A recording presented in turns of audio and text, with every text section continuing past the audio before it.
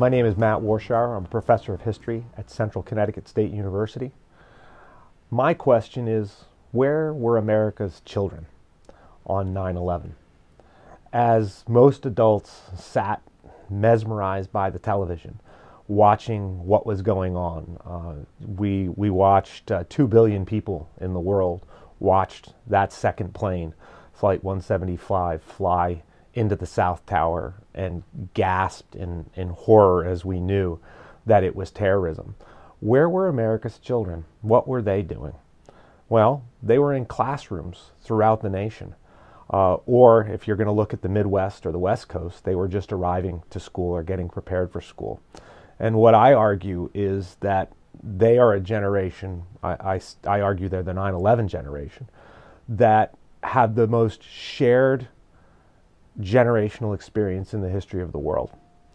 That most of these kids, especially all along the eastern seaboard, are in class. And at this time in, in U.S. history, there's you know some 50 million kids in school. And what they watch unfold, you know, they may or may not have seen uh, what happened on television. You know, teachers, you know, depending on the age, they may or may not have rolled a, a television into the classroom. But uh, regardless of that, what, what they saw were teachers and adults around them stop doing what they were doing. Lessons plans were forgot. Uh, teachers huddled together. Uh, there were tears. There was confusion. There was shock.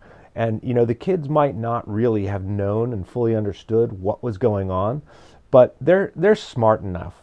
Uh, they're acute enough in their senses to sense that something is not right. And then the parents started showing up at the schools in droves because what was the natural response of most parents uh, when a catastrophe like this happens is, oh my God, my, my child. I, it, it's, a, it's an instinct that takes over. And parents rushed to schools and started picking up their kids and whisking them home.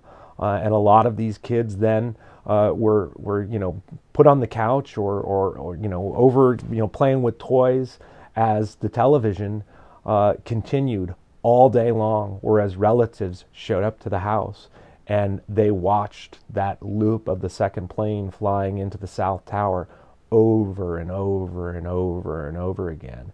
And, and things never really changed over the course of several years. 9 11 was the first time that, you know, uh, the homeland had been attacked since Pearl Harbor.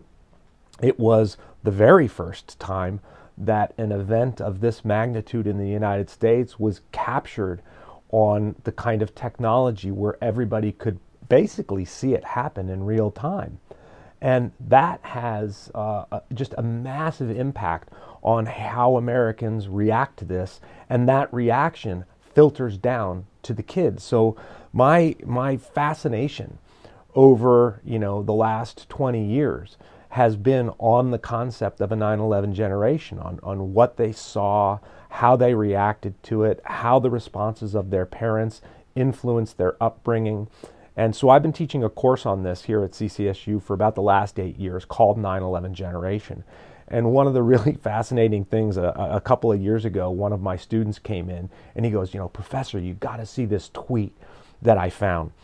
And it was uh, somebody who asked a question why is the millennial generation always so upset? Why can't they ever get anything done?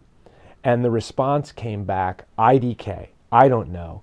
Maybe it's because we saw 3,000 people die on live TV when we were eight, and nothing's ever gotten better.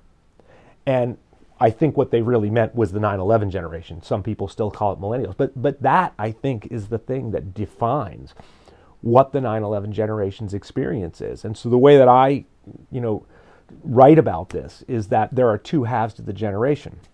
There is the direct 9/11 generation, and these are the kids who were five, six years old, up through maybe 15, 16, who actually witnessed what occurred and just saw the shock and horror and had no context in which to place it. There's an absolutely fantastic article by a journalist named Emma Lord. And she writes what it was like to be 10 years old on 9 11.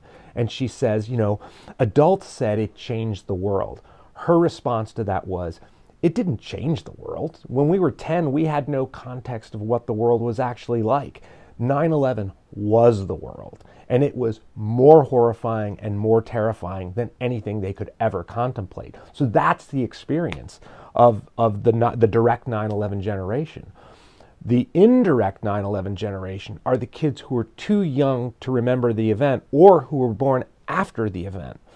But they are nonetheless fundamentally shaped by twin towers that no longer exist because American society is so changed by 9/11. Uh, you know, many authors have written about that there is a, a America before 9/11 and America after 9/11.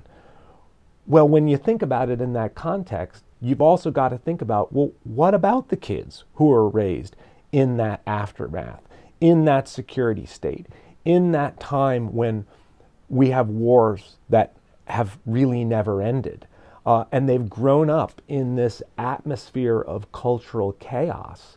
Uh, this is the first generation in American history that has seen never ending war, have never seen democracy really function well. Um, they've never seen a, a president who has been brought down through the abuse of power. They've never seen the power of democracy and of people coming together uh, end a war. Uh, they've literally never really seen a, functional system of democracy. And when you think about it in that capacity, you really start to realize just how much the United States has changed as a result of 9 11. And, and when we ask a question like that, or we theorize ideas about, well, what did 9 11 really do to America, uh, we don't necessarily think of the kids and what their thoughts are. Um, and when I've talked to kids, uh, you know, a lot of students, I mean, I've taught hundreds and hundreds and hundreds of students about this subject. And of course, they're their sort of position on 9 11 has changed a lot over the years as we've gotten further and further away from the event. But they still realize that, that this is a, a fundamental turning point in American history, that it's something that is, you know, uh, in just often for them it's in intangible ways that it's connected to their life. And then when we start really investigating and researching and reading about 9-11 they they you know they come alive and and realize my god I, I didn't realize just how much my life was shaped by this event that occurred when I was really young or occurred before I was even born. And they come to see that their outlook on politics in America in particular is that our system of government isn't working. That the most basic things and they you know when you talk about terrorism they're as concerned about domestic terrorism as they are about foreign terrorism. And they they consider school shootings a direct form of domestic terrorism and they don't believe that government or any of the adults in our society can do anything about it. They don't believe that government or the adults in our society can do anything about climate change, can do anything to balance the playing field about the economic, uh, you know, situation and an, an, economy that doesn't work in these kids' favor. The the problems of rising uh, tuition costs at colleges and universities.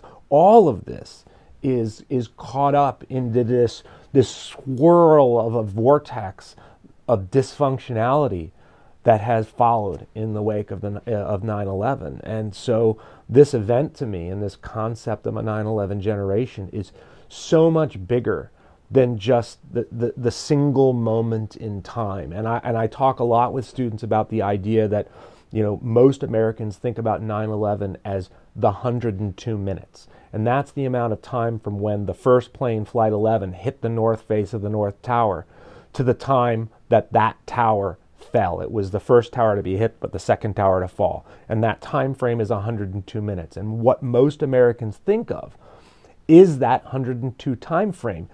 Or if they go before or after it, it's solely about the stories of the people who were impacted by that moment. But 9 11 is so much bigger than that, especially for these students who have grown up in its wake.